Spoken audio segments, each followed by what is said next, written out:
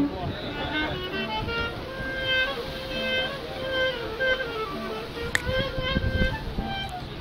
me imagino que será muy difícil de integrar.